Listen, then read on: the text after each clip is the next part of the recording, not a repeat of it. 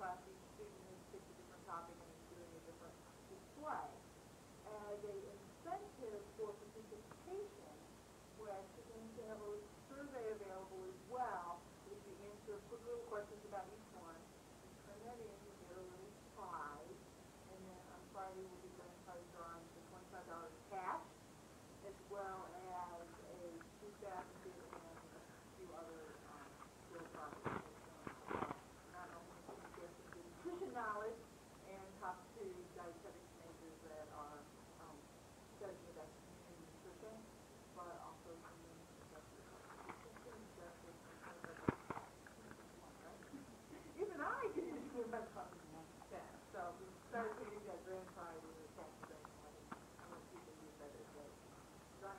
Do we have to be closing the meeting? No, you do not. We have purchasing. You do. You have to, you have to take the survey, you have to fill out the survey.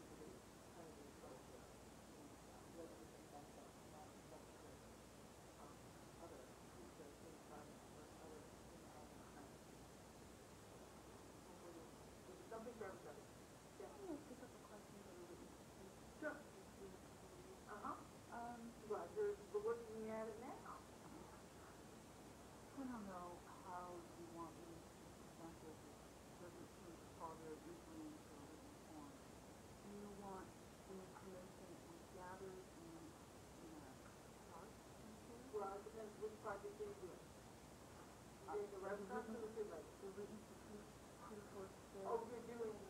critique is the diary. Correct. Okay. So. We're going to find when we. So, tell me what questions you don't think fall into, I mean, some of that could certainly be targeted, but just explain away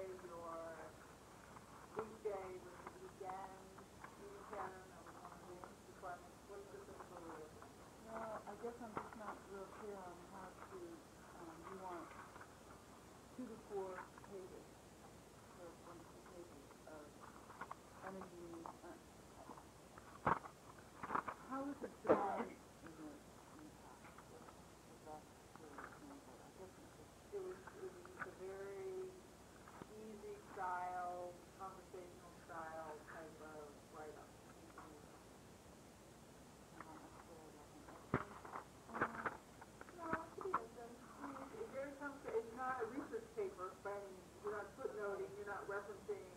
Not review, so.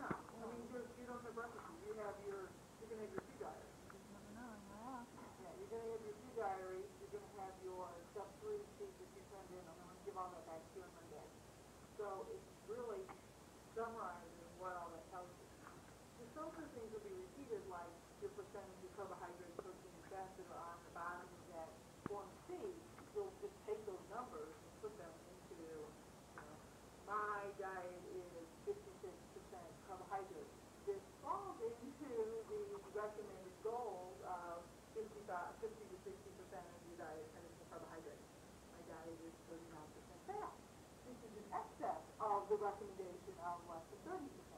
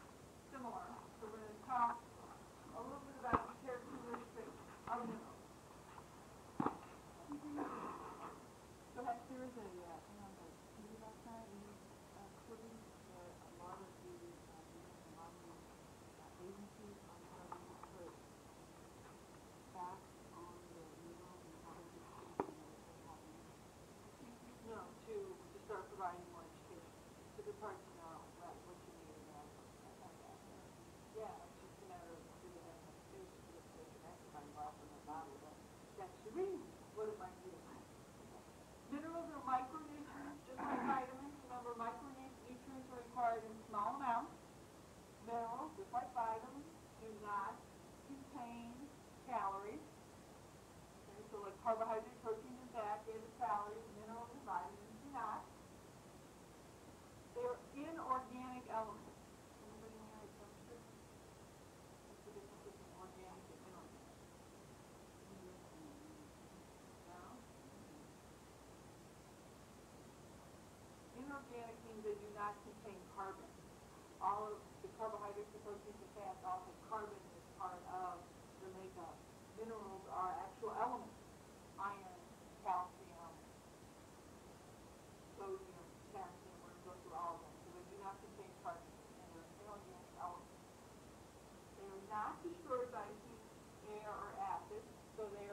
more hardier than vitamins are in the fact you don't have to take as much precautions to preserve their content because they're not really destroyed. They can be lost in water. They can just be diluted and um, extracted in water, leach out. Some of them act very much like water-soluble vitamins in the fact that they're easily absorbed and excreted by the kidney, just like if we had those C or C vitamins.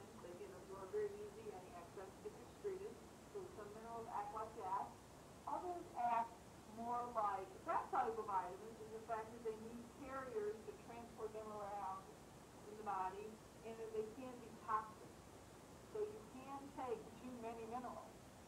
It's just like you can take too much of a particular vitamin. So it's not always that if a little bit is good, a lot will be better. Minerals can be toxic as well. And the variable bio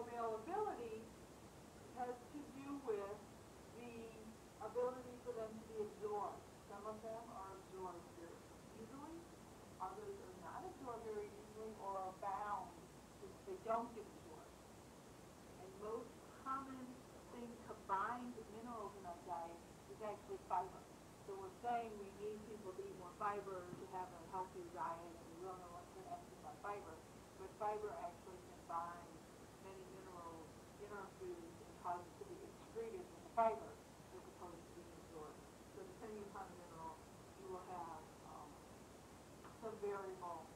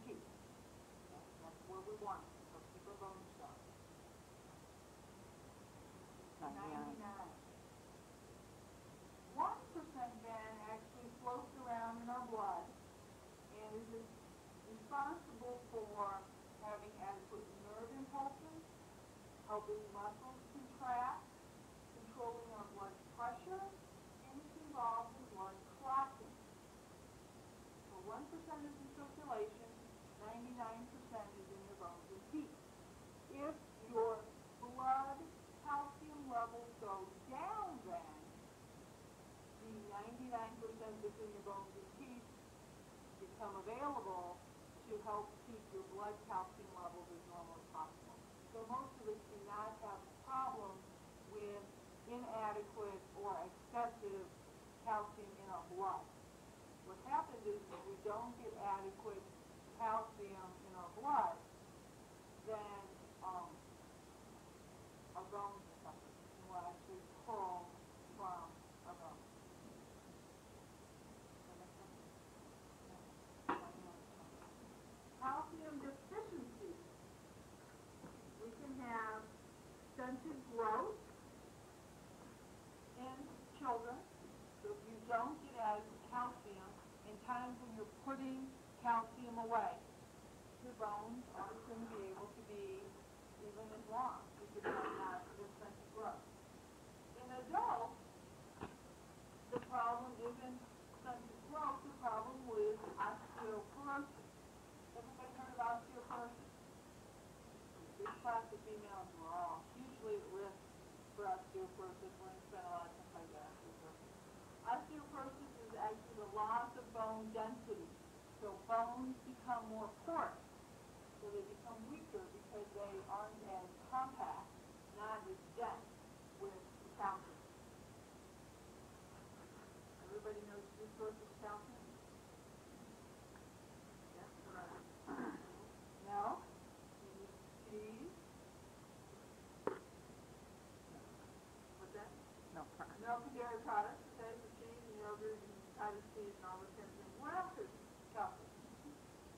Not, a- not a lot. Fish and bones. So sardines and things that have little bits of bones in them because of the bones themselves, that will be a source.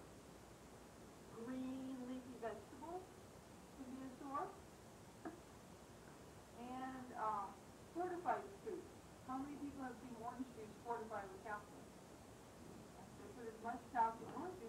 like to know to handle those, for, to help those people who, um, those brain, no.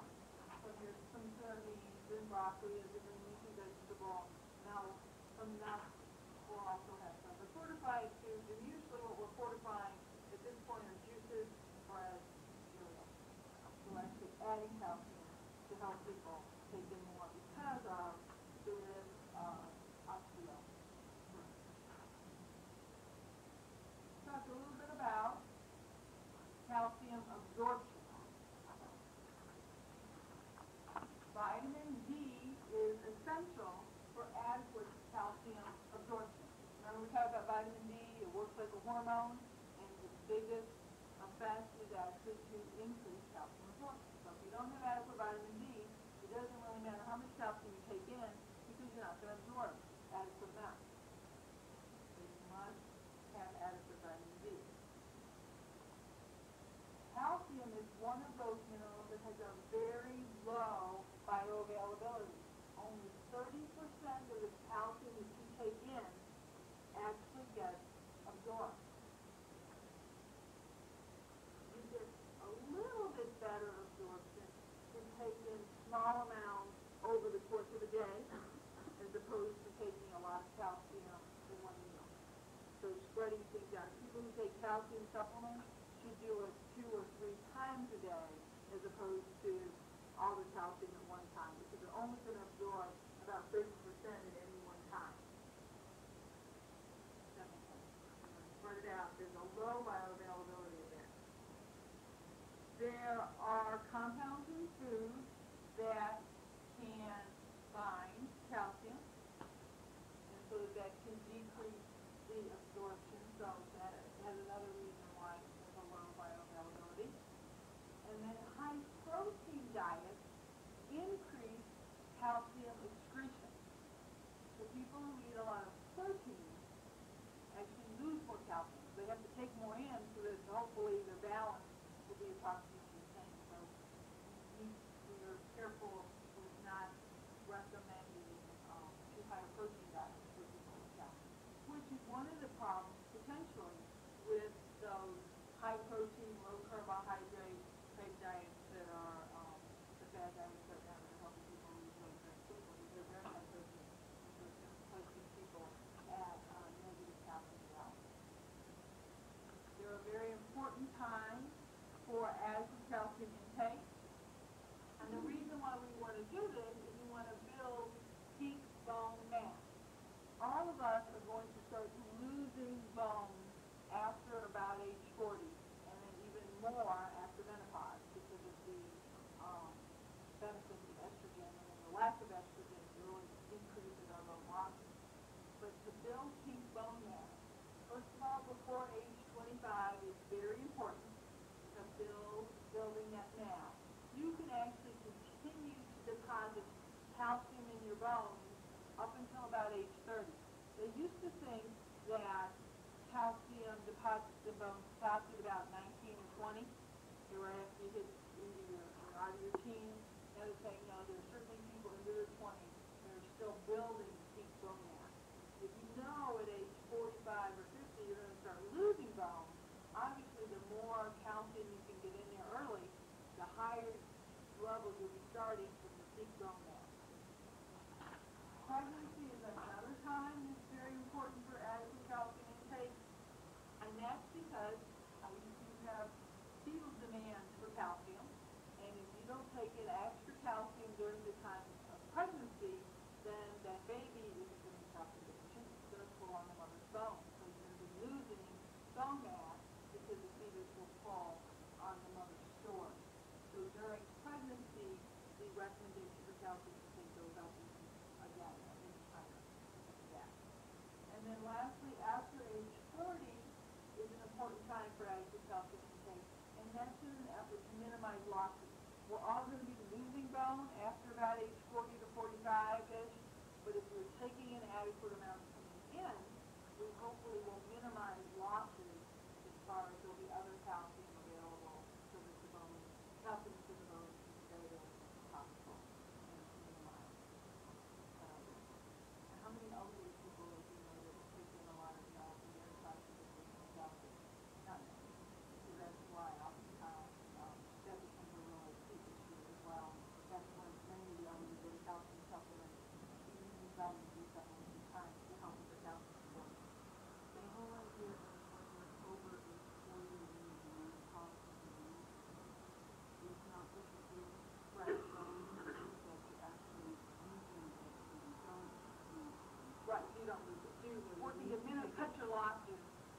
pay you need to, you absorb more as far as a greater percentage if you take the calcium dosage after an email than at one time. For any one calcium dose that you ingest, you're only absorb about 30%. So spread it out to get 30% of your if you take 1,000 milligrams and take it into 3, 300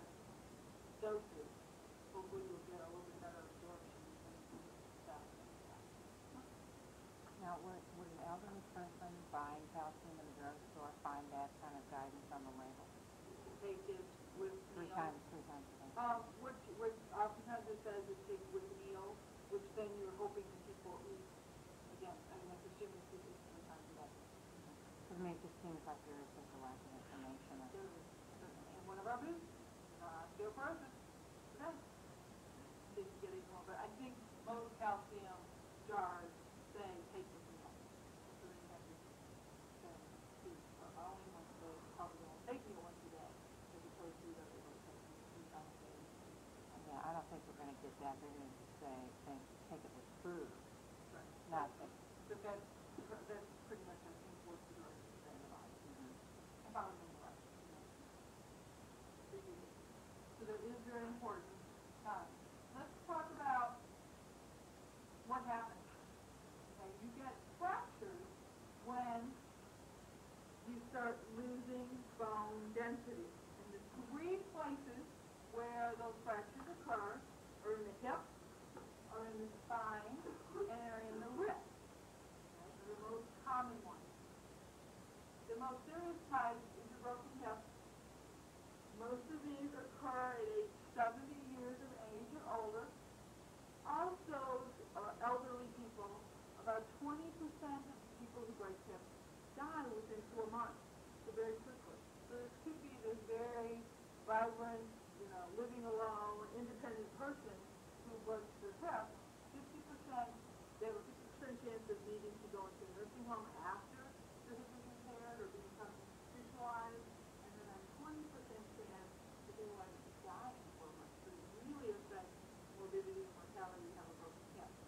What I think is very interesting is I used to think that people fell and then broke their hip, but suggestion is with osteoporosis is that, is that the hip breaks, and that's what causes the person to fall. That your bones become that porous, that just from the stress of walking on them, you break the hip, and that would make you fall. So it's not always you fall and then break your hip, but your hip breaks, and that makes you fall. You can think of a totally different concept.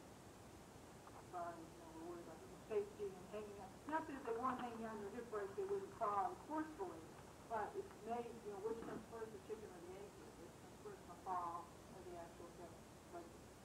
So, so is the, this twenty percent that die within four months, is that due to complications from the broken hip, or is it actually because, because I thought the, It could be, immo- yeah, it's more complications, it could be the immo- the immobility, leading to bed sores, infections, leading to pneumonia, leading to wound infections, it's those kinds of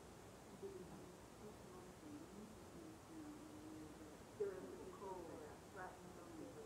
They don't get the sunlight, they're not making enough vitamin D, they're not eating calcium, they, have- you know, you're taking them out of your environment. Hip fractures are a big, um, a big issue, and I would say, just to say, that I did the orthopedic floor when I was working for an institution, and actually studied the hip fracture people.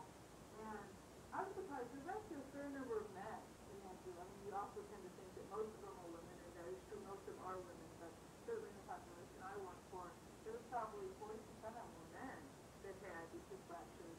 And almost all, I would say maybe five percent were able to go home after hospitalization. I would say the rest of them went to a rehab facility, but they don't that's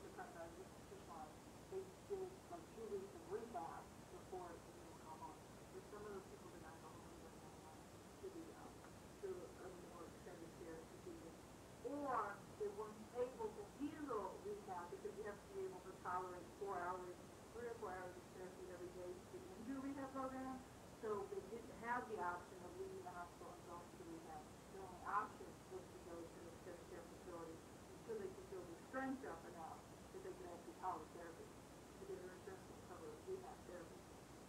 What do you think the prognosis is for people that don't break it yet but have problems, have to have hip replacement? Do you think it would be the same thing? You know, where the hip No, we looked at those people too.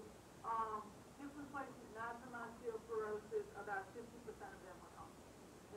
in my, my particular experience. Mm-hmm. And I remember the that was really helpful. And why was that? Because they just couldn't walk or? Right. And we have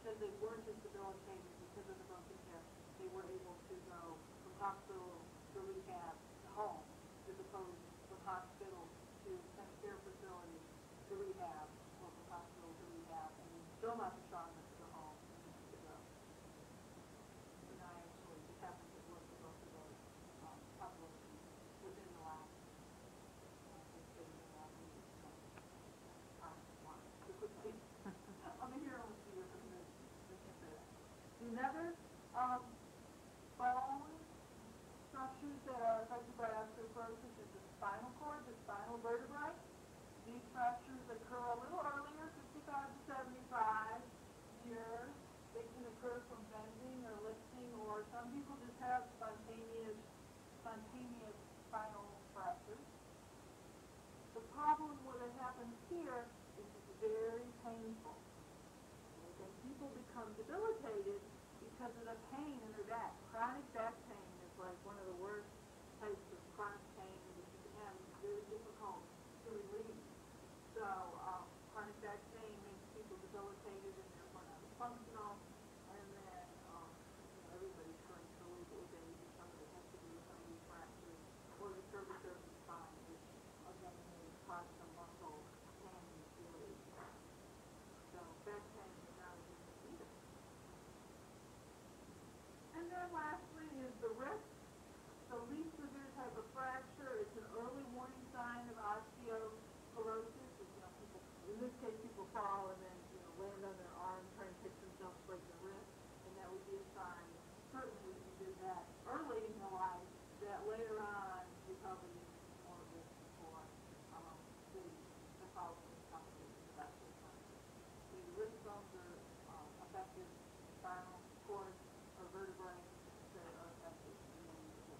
That's how we to come. We don't really go to femur, because it's a big bone the leg, but the, the supporting bone is around. So is there, other than taking supplements, is there much they can do? Uh, that, that. Yeah, there's, there are lots of things that we, that we can do for decreasing the risk. Here are your risk factors, so doing things to minimize your risk factors will be things you can do to prevent osteoporosis. Unfortunately, you can't do about your age, right? As old as you are, you're only gonna get older, but your bone losses increase as you age. So that is one of the risk factors. As you get older, you're gonna have, you're more at risk for osteoporosis and the complications of that. Male or females are at higher risk for osteoporosis than men, or male, and that is because of the estrogen effect related to bone mass. So when your estrogen levels start, start dropping in menopause,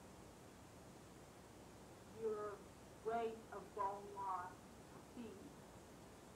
So where men don't have that hormonal shift that women have, they don't have this time in their life when all of a sudden they're losing more and more and more bone.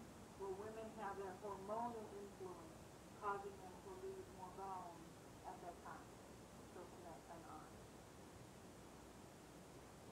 Alcohol abuse will increase risk for osteoporosis. Alcohol causes a decrease in absorption of calcium and an increase in excretion of calcium. So you're not to absorb as much and you're going to excrete more if you're taking in regular alcohol. People who um, abuse alcohol have problems. Lack of menstruation, again, it has to do with the estrogen effect. The less estrogen on board, the more losses you have. And we're going to get into eating disorders when we talk about life cycle things, and athletes when we get to talk about fitness.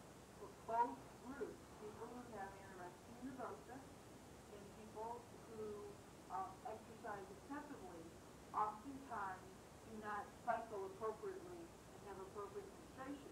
And that's related to the fact that because of their habits and their lifestyle habits, they um, don't have adequate estrogen levels. And those people are hugely at talk about, um, female athletes and eating disorders, and those bones scans on these girls that are twenty years old, and the bones look like seventy-year-old people, because of the effects, there's a lack of estrogen that's had, um, on the body. And those people are certainly gonna be a little bit tested thirty-five to forty, as opposed to doctors. So, and then, again, as a part of that, the culture thing, we'll get into those, when we talk about fitness, and again, when we talk about, go through the life cycle, we talk about eating disorders. And we'll talk about that again. But anytime somebody isn't menstruating regularly, um, or during the time of pregnancy, that is certainly gonna increase, um, their risk for osteoporosis. Race and ethnicity affects your risk for osteoporosis, again, not something you can do about it, but Caucasians and Asians are at increased risk.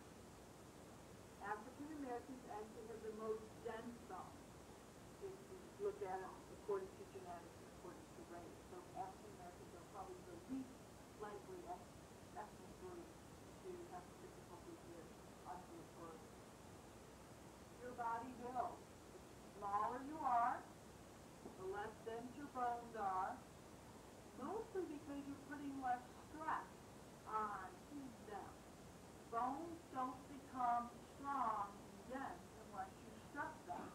So smaller people, smaller frames, lighter people, thinner people, don't put as much stress on their bones when they're doing their daily activities than somebody who's a little bigger, somebody who weighs a little more.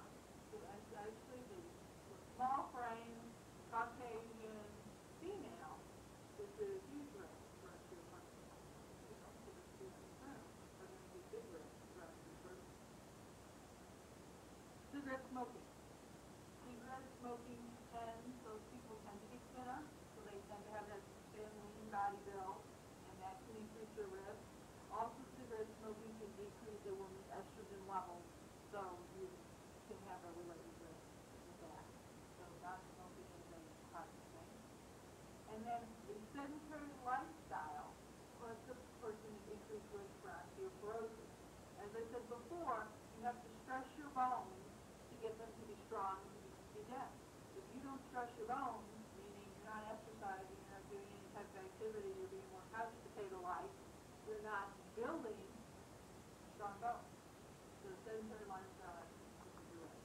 So, to answer Lynn's question, what can you do? You cannot abuse alcohol, you can not smoke, you can do adequate exercise, and take adequate calcium.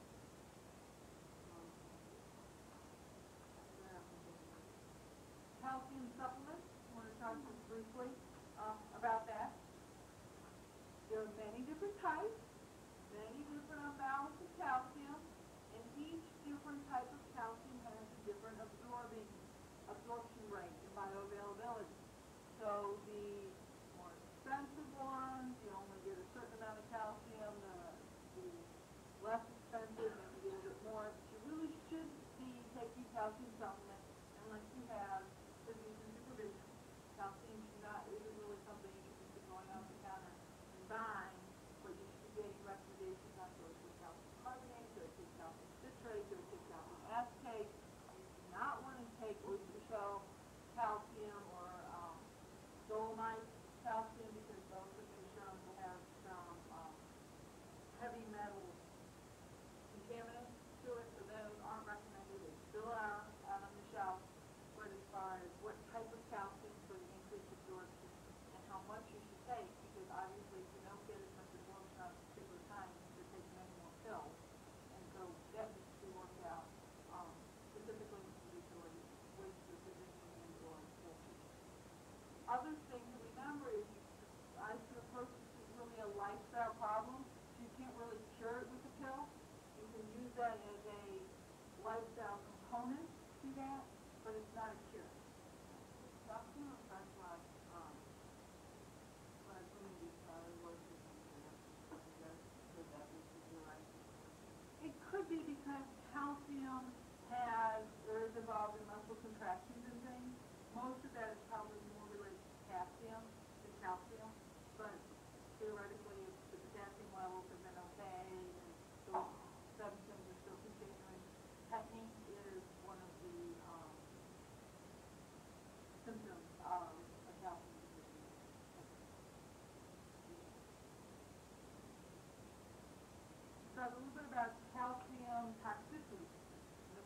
again, one of the reasons why I wanted to be careful with supplements is, first of all, calcium supplements can be very constipating, which is another reason why elderly people have difficulty taking them or taking difficulty amounts, or taking adequate amounts, because elderly people, because of their lack of activity, and maybe also their lack of fluid intake, because it's too difficult to get up and go to the bathroom and urinate to get rid of the fluid, so they started self-limiting fluids, can have big problems with constipation, which is a whole other issue. And the calcium can be very constipating. Calcium touches, taking in too much, especially like I said with that vitamin D, um, intake, where you're absorbing too much and you're keeping your blood calcium levels high, you certainly increase your risk for kidney stone formation. And starts with that vitamin D. And then calcium supplementation decreases the absorption of other minerals, especially iron. So if you're taking supplements, you don't, certainly don't want to take a calcium supplement with an iron supplement, because the calcium supplement will bind the iron, and then you have, you know, you're not getting the benefits of the iron supplement. So there are mineral-mineral interactions, um, as well, which will decrease the absorption of. So that's why, again, you don't want to be calcium supplementing as far as taking pills on your own, from the grocery store, from the Walgreens, or whatever it is, without the supervision, supervision of, um, a physician and working hospital. A lot, there's so many brands out there, you can use some vitamin D, some without, to know exactly which one is best for you, you need to be very individualized. um,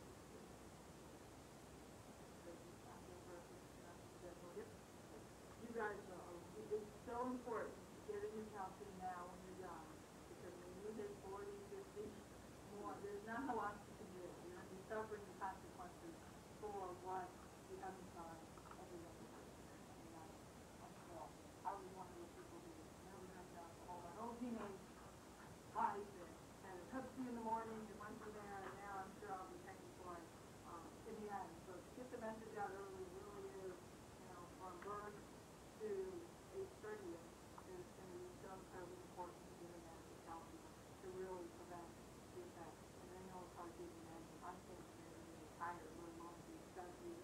years old, I'm sure you guys can't either. But that's when this lifestyle stuff is just, when you're seventy, seventy-five years old. Obviously, you want to do it, you want to put your life, um, yeah. This is really not. Get out to work, your little sister, see you later. Phosphorus is the next mineral I want to talk about. It's going to be the second most abundant mineral in our body. And again, bones and teeth are where most of it occurs. Eighty-five percent of calcium is in our bones and teeth, combined with calcium. It helps make our bones strong along with calcium. You need phosphorus for DNA and RNA. Remember their genetic code material. And you also need phosphorus to make ATP. Have you heard of ATP before? Do you know what that is? It's cellular energy. It's what your cells use for energy. ATP. It's adenosine triphosphate. So for every ATP substance, energy, you need three phosphates. And there's a triphosphate, it's three phosphates. The phosphorus gets to be um, very important to give adequate energy as well as a genetic code. Sources of phosphorus. Very uh, very easy. All animal products have phosphorus because we all have cells that make energy, we all have ATP in them, so there's always phosphorus in any animal product. Processed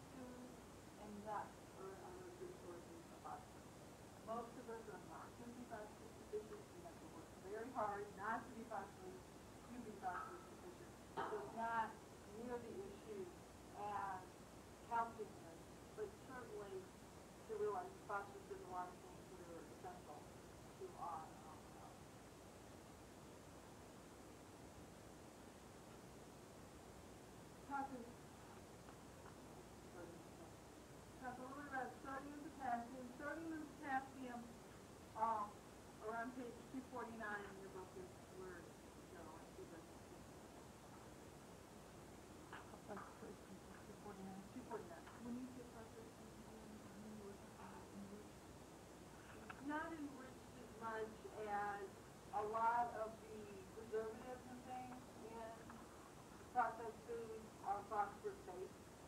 So you'll see like sodium monophosphate or whatever added to this, So there's phosphorus in the processed food. Sodium and potassium are our two major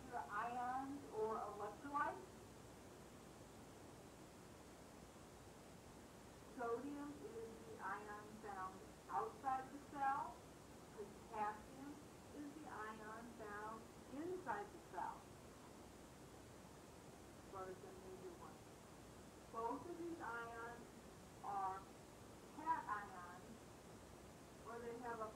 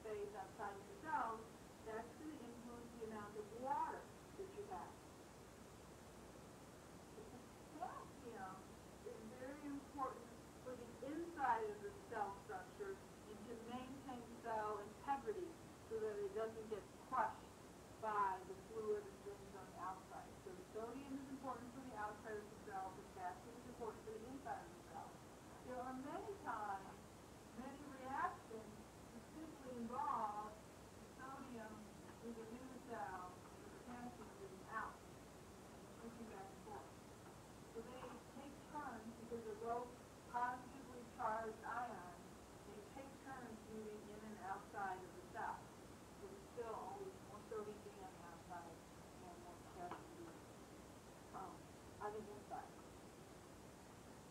Obviously, we have losses of sodium and potassium.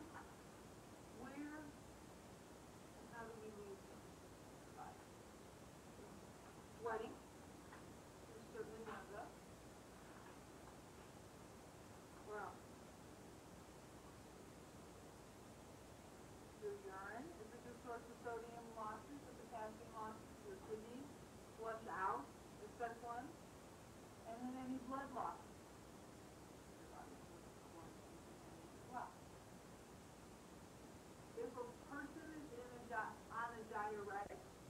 the medication that causes them to lose more fluid, they are going to lose more substance and more potassium. Sources of sodium, I would think this is kind of interesting. 75% of the sodium that we take in actually comes from sodium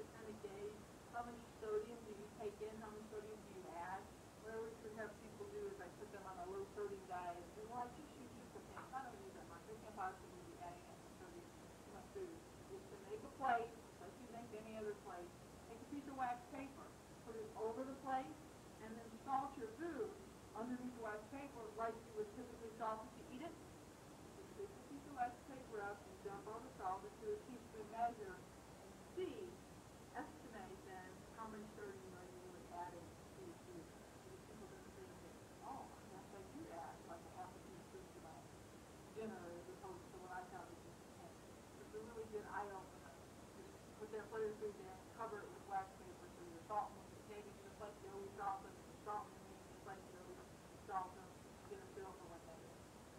What's the official uh, opinion on salt now? It's, you know, it's kind of gone back and forth. They said it was terrible for you. Now they say that's all kind of a, a yeah. hype. But which moderate intake is really the goal. If you look at the daily value issues, I think you're talking about 2,400 milligrams, so pretty small.